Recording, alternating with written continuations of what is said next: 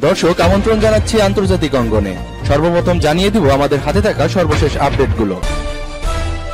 Minus পঁয়তাল্লিশ degree তাপমাত্রাতেও সেনা মোতায়েনের প্রস্তুতি লাদাখে। বিদেশি বিমান দূরে থাকো ইরানের হুঁশিয়ারি। নেতানিয়াহুকে ক্ষমতা থেকে সরিয়ে দিতে পারে অ্যাটর্নি জেনারেল। ইরাকে সেনা উপস্থিতি কমাবে আমেরিকা ও জার্মানি। বিমান বাহিনীতে রাফায়েলের অন্তর্ভুক্তি, বিশ্বের জন্য বড় ও শক্তিশালী বার্তা, জানিয়েছে রাজনাথ সিং। কাতারের বিরুদ্ধে সৌদি জোটের অবরোধ প্রত্যাহার হচ্ছে। সেই বিধ্বস্ত বৈরুত বন্দরে এবার ভয়াবহ অগ্নিকাণ্ড। দর্শক, সর্বশেষ জানিয়ে দিচ্ছি, দশ হাজার চীনা শিক্ষার্থীর ভিসা বাতিল করছে যুক্তরাষ্ট্র। দর্শক, এখন জানিয়ে দিব বিস্তারিত। মাইনাস পঁয়তাল্লিশ ডিগ্রি তাপমাত্রাতেও সেনা মোতায়েন প্রস্তুতি লাদাখে। লাদাখে আসন্ন শীতেও সেনা মোতায়েন রাখার কথা ভাবা হচ্ছে। এদিকে চীনের সরকারি গণমাধ্যমের খবর অনুযায়ী ভারতীয় সেনার আগ্রাসী মনোভাব দেখে সার্বভৌমত্ব রক্ষায় লাদাখে সামরিক তৎপরতা বাড়িয়েছে চীন। ভারতের প্রতিরক্ষা সূত্রের খবর, গত দুদিনে চীনের দিকে সাজানো গাড়ির আনাগোনা উল্লেখযোগ্যভাবে বেড়ে গিয়েছে। দেশের বিভিন্ন প্রান্ত থেকে সেনা সরিয়ে লাদাখে নিয়ে আসা হচ্ছে। বাড়ানো হয়েছে এয়ার ডিফেন্স ব্যবস্থা, কামান ও ইনফ্যান্ট্রি ডিভিশন। বসানো হয়েছে এই যে ten anti tank missile system. লাদাখের কঠিন পরিবেশ যুদ্ধের জন্য একাধিকবার মহড়া দিয়েছে সে দেশের বিমান বাহিনী সেনা প্যারাটুপ্রেরারা গতকাল একাধিক এই সিক্স, বাম্বার ও ওয়াই টোয়েন্টি মালবাহী বিমানকে দেশের বিভিন্ন প্রান্ত থেকে লাদাখে উড়িয়ে আনা হয়েছে। ভারতের মতে, লাদাখে অন্তত এই মুহূর্তে চীনের পঞ্চাশ হাজার সেনা রয়েছে। যুদ্ধ বিমান রয়েছে একশো পঞ্চাশটি। ক্ষেপণাস্ত্র হামলা ঠেকাতে ভূমি থেকে আকাশ ব্যালিস্টিক মিসাইল বসিয়েছে চীন। ভারতীয় উপগ্রহ চিত্রেও ধরা পড়েছে প্যাংগং হ্রদের উত্তরে। রীতিমতো যুদ্ধকালীন তৎপরতায় পরিকাঠামোগত কাজ করে যাচ্ছে চীন। প্যাংগং হ্রদের গা ঘেঁষে যে আটটি গিরিশিখর রয়েছে, তার পাঁচ নম্বর ফিঙ্গারে এই তৎপরতা লক্ষ্য করা গেছে। তবে জুন মাসে আলোচনার পরে ফিঙ্গার ফোর থেকে চীনা সেনা সরে যাওয়ার পর সেখানে আর নতুন করে পরিকাঠামো গড়ে তোলেনি চীন। বিদেশি বিমান দূরে থাকো, ইরানের হুঁশিয়ারি। পারস্য উপসাগরের কৌশলগত এলাকায় ইসলামী প্রজাতন্ত্র ইরানের জুলফিকার নাইনটি নাইন নামে যে নৌমহড়া শুরু করেছে, তা নির্বিঘ্নে শেষ করার জন্য বিদেশি বিমানগুলোকে ওই অঞ্চলের আকাশসীমা এড়িয়ে চলার জন্য সতর্ক করে দেওয়া হয়েছে। ইরানের এই সতর্ক বার্তা পাওয়ার পর, ওই এলাকার আকাশ থেকে আমেরিকা তাদের সমস্ত ড্রোন সরিয়ে নিয়েছে। ইরানের সামরিক মহড়ার মুখপাত্র রিয়ার অ্যাডমিরাল শাহরাম ইরানি এ তথ্য জানিয়েছেন। পারস্য উপসাগরের হরমুজ প্রণালী ও ভারত মহাসাগরের উত্তরাঞ্চলে অনুষ্ঠানরত ওই মহড়ায় ইরানের সামরিক বাহিনীর বিমান এবং স্থল শাখা অংশ নেবে। মহড়ায় প্রতিরক্ষামূলক অস্ত্র ও সামরিক সরঞ্জামাদি ব্যবহার করা হচ্ছে। এদিকে চলমান এ মহড়ায় ইরান ড্রোন টর্পেটো ভূমি থেকে ভূমিতে এবং উপকূল থেকে ভূমিতে নিক্ষেপযোগ্য ক্রুজ ক্ষেপণাস্ত্র ভূমি থেকে আকাশে এবং আকাশ থেকে ভূমিতে নিক্ষেপযোগ্য ক্ষেপণাস্ত্র পরীক্ষা চালিয়েছে। ইরানের সামরিক বাহিনীর বোমারু বিমান এবং কমব্যাট ড্রোন পূর্ব পরিকল্পিত মিশন পরিচালনা করবে এই সূত্র জানিয়েছে পার্স টুডে। নেতানিয়াহুকে ক্ষমতা থেকে সরিয়ে দিতে পারে অ্যাটর্নি জেনারেল। ইহুদিবাদী ইসরায়েলের দুর্নীতিবাজ প্রধানমন্ত্রী নেতানিয়াহু ক্ষমতা থেকে সরিয়ে দিতে পারে অ্যাটর্নি জেনারেল অফিস। নেতানিয়াহুর বিরুদ্ধে যেসব দুর্নীতিমালা রয়েছে, সেগুলো দুর্বল করে দেওয়ার জন্য নীতি নির্ধারক পর্যায়ের লোকজনকে যদি তিনি দায়িত্ব দিয়ে থাকেন অথবা আইনি প্রতিক্রিয়াকে যদি তিনি বাধাগ্রস্ত করার চেষ্টা করে থাকেন এবং এ ব্যাপারে যদি তিনি দোষী প্রমাণিত হয়, তাহলে তার বিরুদ্ধে এ ব্যবস্থা নেওয়া হতে পারে। ইসরায়েলের শীর্ষ পর্যায়ের ইংরেজি দৈনিক হারেজ জানিয়েছে, attorney general Avichai Mandelblit নেতানিয়াহুকে প্রধানমন্ত্রী হিসেবে দায়িত্ব পালনের ক্ষেত্রে অযোগ্য ঘোষণা করবেন কিনা তা নিয়ে পরামর্শ করেছেন। অ্যাটর্নি জেনারেল মনে করছেন, নেতানিয়াহু তার অফিসকে ব্যক্তিগত সুবিধার জন্য ব্যবহার করছেন। সম্প্রতি ইসরায়েলের বিচার বিভাগের নিরপেক্ষতা নিয়ে নেতানিয়াহু যে সমালোচনামূলক বক্তব্য দিয়েছেন, তাকে ভিত্তিহীন ও অগ্রহণযোগ্য বলে উড়িয়ে দেন অ্যাটর্নি জেনারেল। গতকাল নেতানিয়াহু ইসরায়েলের বিচার বিভাগের সমালোচনা করে বলেন, তার বিরুদ্ধে দুর্নীতির যে তদন্ত হয়েছে তা পক্ষতামূলক ছিল এবং এজন্য তিনি নতুন করে স্বাধীন ও নিরপেক্ষ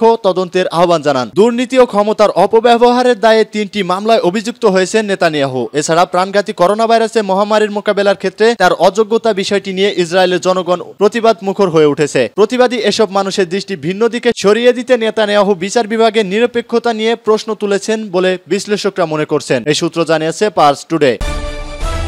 ইরাকে সেনা উপস্থিতি কমাবে আমেরিকা ও জার্মানি। ইরাক থেকে সেনা সংখ্যা কমানোর সিদ্ধান্ত ঘোষণা করেছে আমেরিকা ও জার্মানি। গত জানুয়ারি মাসে ইরাকের জাতীয় সংসদে সর্বসম্মতিক্রমে দেশ থেকে মার্কিন সেনা বহিষ্কারের জন্য সরকারের প্রতি আহ্বান জানিয়ে একটি প্রস্তাব পাশ করার পর আমেরিকা ও জার্মানির পক্ষ থেকে এই ঘোষণা এলো। গতকাল ইরাক সফরের সময় মার্কিন সেন্ট্রাল কমান্ডারের জেনারেল ফ্রাঙ্ক ম্যাকেনজি ইরাকের মার্কিন সেনা উপস্থিতি কমানোর ঘোষণা দেন। তিনি জানান, ইরাকে বর্তমানে পাঁচ হাজার দুইশো সেনা রয়েছে। চলতি সেপ্টেম্বর মাসের মধ্যেই এই সেনা তিন হাজারে নামিয়ে আনা হবে। ম্যাকেনজি বলেন, ইরাকি সামরিক বাহিনী বিরাট উন্নতি করেছে যে কারণেই ইরাক থেকে মার্কিন সেনা সরানো হচ্ছে। এছাড়া বাগদাদ সরকারের সঙ্গে পরামর্শ এবং সমন্বয় করে এই সিদ্ধান্ত নেওয়া হয়েছে। মার্কিন শীর্ষ কমান্ডার বলেন, ইরাকে মোতায়েন করা অবশিষ্ট মার্কিন সেনারা ইরাকি নিরাপত্তা বাহিনীকে পরামর্শ এবং সহযোগিতা দেওয়া অব্যাহত রাখবে। এছাড়া উগ্র সন্ত্রাসী গোষ্ঠীর দায়েশ নির্মূলের ক্ষেত্রে মার্কিন বাহিনী ভূমিকা রাখবে বলেও তিনি দাবি করেন। ইরাকের joint অপারেশনসের commander major general Tahsin al Khafaji গতকাল বলেন, ইরাক এবং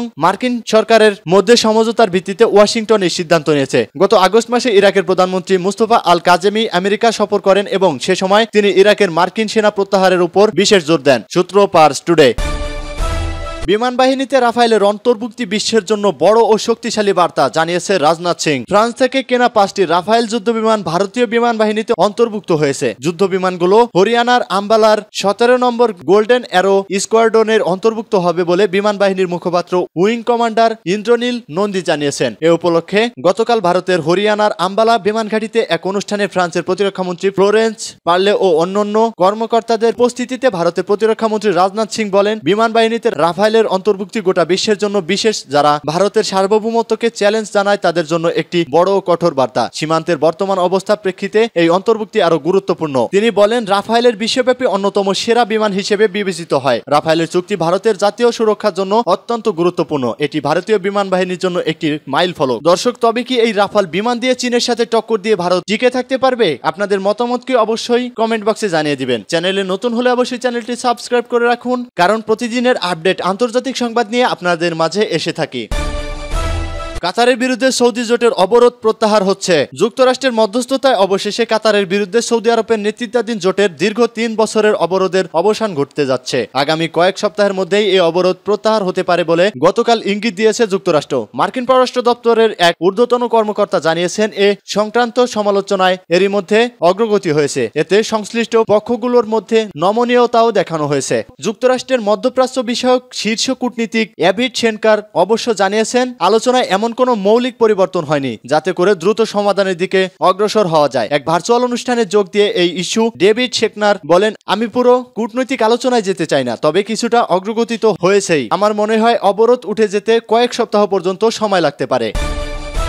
দর্শক, মনে আছে কি সেই বৈরুতের কথা? বৈরুত বন্দরে আবারও ভয়াবহ অগ্নিকাণ্ড।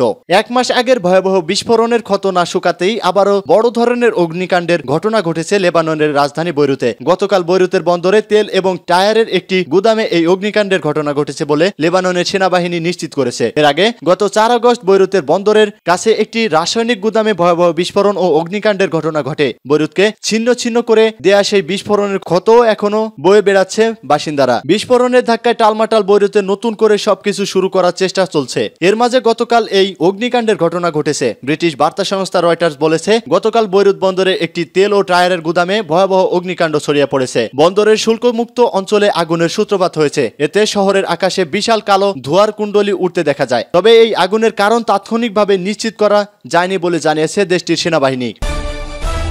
সর্বশেষ জানিয়ে দিচ্ছি, দশ হাজার চীনা শিক্ষার্থীর ভিসা বাতিল করল যুক্তরাষ্ট্র। চীন মার্কিন ক্রমবর্ধমান বৈরাতার পরিণতি ভোগ করতে হচ্ছে উচ্চ শিক্ষার জন্য আমেরিকায় পড়তে যাওয়া লাখ লাখ চীনা শিক্ষার্থীকে। চীনা সেনাবাহিনীর সঙ্গে সম্পর্ক এবং গুপ্তচর বৃত্তির অভিযোগে সম্প্রতি আমেরিকায় দশ হাজারেরও বেশি চীনা শিক্ষার্থী এবং গবেষকের ভিসা বাতিল করে তাদেরকে দেশে ফিরে যেতে বলেছে। প্রথম চীনা শিক্ষার্থীদের ভিসা বাতিলের বিষয়টি সরকারিভাবে জানিয়েছে ট্রাম্প প্রশাসন। যদিও মার্কিন যুক্তরাষ্ট্রের এমন সিদ্ধান্তের প্রতিক্রিয়া কি হবে সে বিষয়ে এখনও কিছু জানায়নি চীন। এক বক্তব্যে মার্কিন হোমল্যান্ড সিকিউরিটি বিভাগের ভারপ্রাপ্ত সচিব চ্যাট ওল বলেছেন, চীনের সেনাবাহিনীর সঙ্গে যোগসাজশ করে মার্কিন যুক্তরাষ্ট্রের পড়াশোনার নামে এসে গোপন ও বৈদিক তথ্য হাতানোর দায়ে পয়লা জুন থেকে এখনও পর্যন্ত দশ হাজার চীনা শিক্ষার্থীর ভিসা বাতিল করল যুক্তরাষ্ট্র। আজকের মতো এখানেই শেষ করছি। সবার আগে সর্বশেষ সংবাদ জানতে আমাদের চ্যানেলটি এখনই সাবস্ক্রাইব করে রাখুন। ধন্যবাদ এতক্ষণ সাথে থাকার জন্য।